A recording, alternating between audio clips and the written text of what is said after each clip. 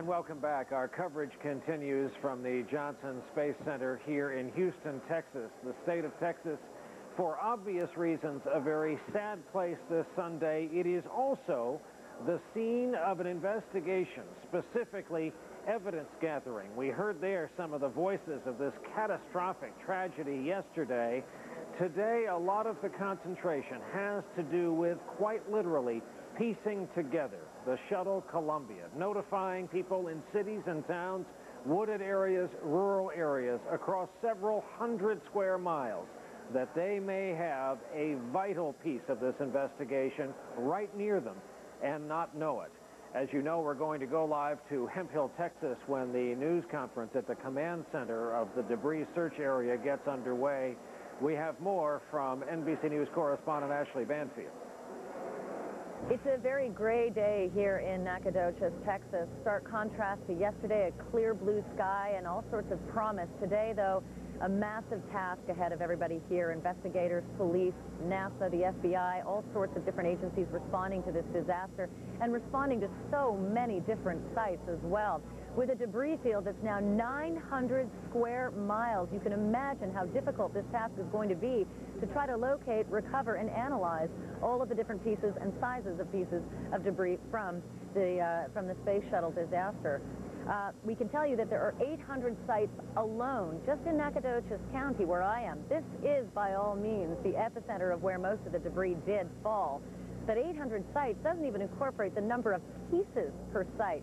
So there's inc an incredible recovery effort, mar marking, mapping, GPS locators to just try to get a handle on all of this.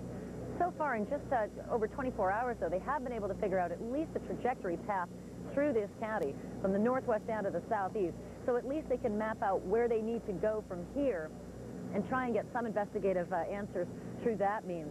To that end, we've also had some confirmation of human remains found here in Nacogdoches. We had heard already that there had been remains found to the east of us, but now confirmation, although no specifics being given by the sheriff, as to human remains here in, uh, in Nacogdoches uh, County.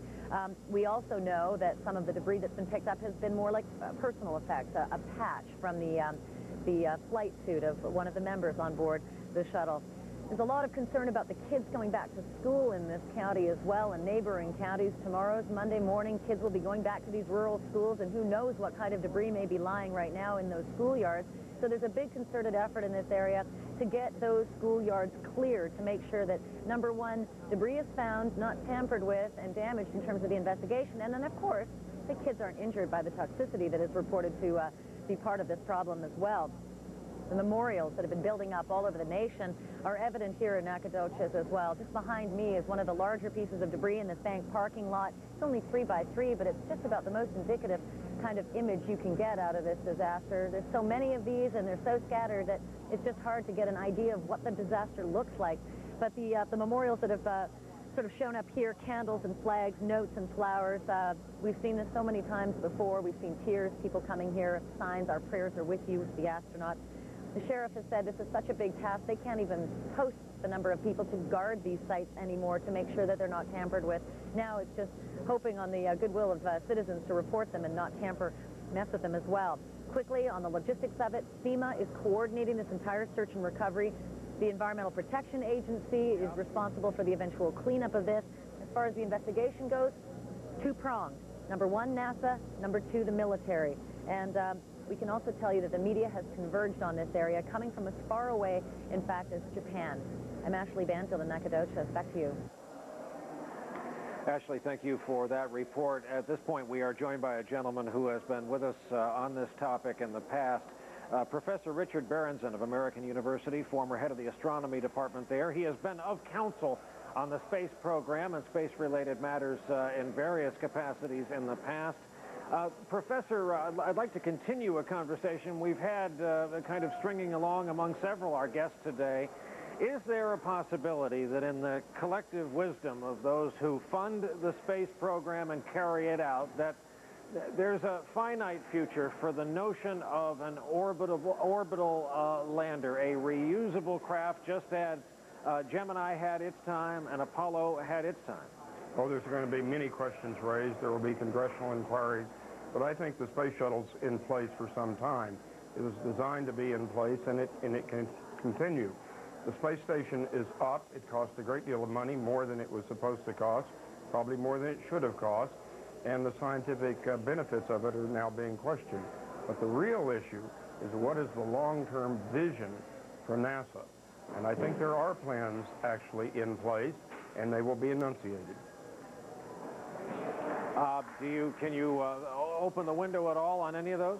Well, yes, I can, Brian. Back uh, 15 years ago, I was on the NASA Exploration Advisory Task Force, which was set up under uh, President Bush the father, and we laid out a number of plans and rationales for NASA. As you know, NASA got going really as a response to the Soviet Union during the Cold War, Sputnik 1, and that right. gave a real rationale for the landing on the moon, and there was a genuine space race.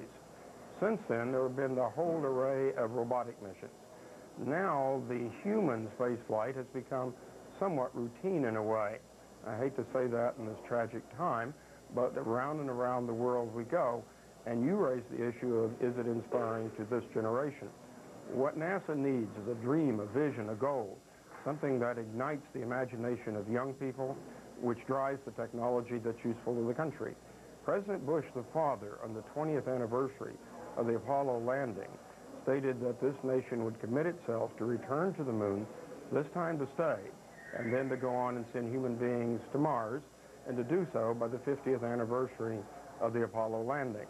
And I would not be surprised, given all of the pressures on the current president and administration of Iraq, North Korea, the economy, and all the rest, that somewhere down the road, you're going to find not that NASA's cut back or abolished, but there's a bolder and grander and a longer-term vision. All right, let me play devil's advocate American taxpayer. Uh, I know that most of the technology we enjoy from car dashboards to home computers to uh, see-through high-strength plastic is thanks to the developments from the space program. However, I'm going to have to see what it's going to get me to continue to go to Mars, to colonize the moon. And how do you answer that? Well, those are absolutely fair questions. You might add to that the safety of the astronauts. We just saw the disaster right here on Earth. We'd have to ensure their safety in a weightless condition and the radiation exposure of space. As for the utility, you might have added television and cable and internet and a host of other things. I think that NASA has to make its case. It should not be given a free ride. And as for the country and its priorities and its dollars, and of course tax uh, cuts as well, uh, it can make its case. And I believe that it best makes its case by meshing with these other needs, that we are developing technologies that are useful to all Americans in their day-to-day -day lives, their commercial lives, as well as to the national defense. It doesn't fall uh, absolutely neatly into a category like guns uh, or butter uh, because of the benefits society has derived, and there's no disputing that we are a better country. Our quality of life is higher today because of the convenience and the science that came out of the space program. I guess people have a hard time believing that there could still be as sharp a learning curve, as sharp a benefit curve under a, the development of a mission to Mars as there could have been the Apollo series. Well, you're absolutely right in raising that, and that's why there'll be a very hot debate. Uh, I was asked by NASA to actually write this up. I found it very challenging. But you do need to emphasize the role of education. As you know, with the death of Christa McAuliffe, the teacher in space program was put on hold. Then Barbara Morgan, who was the number two person, was to fly in the schedule for this fall. That may now well be put on hold. I don't know. But since NASA announced the renewal of this program just weeks ago, thousands of applicants have come in, which suggests to me but this nation, the teachers, the parents, the school children, want education to be lifted high, both figuratively and metaphorically. And I believe that NASA and its endeavors can be at the very heart of that. This is fundamentally a scientific and technological nation. A few years ago, Greenspan said that was what was driving the American economy during its boom years. We're about possibly to be in a military conflict. If so, we are relying on our technology much of the education that comes that makes that possible are people that are inspired not to go into space necessarily, but to pursue technical scientific careers or at least be knowledgeable about it. Professor Richard Berendzen, interesting as always. Thank you very much for joining us from Capitol Hill this Sunday. My pleasure. We're going to take a break here. When we come back, we will take an up-close look at the scope of the loss, the human toll, six of America's best and brightest, and a national hero from the state of Israel. NBC News live coverage continues from the Johnson Center.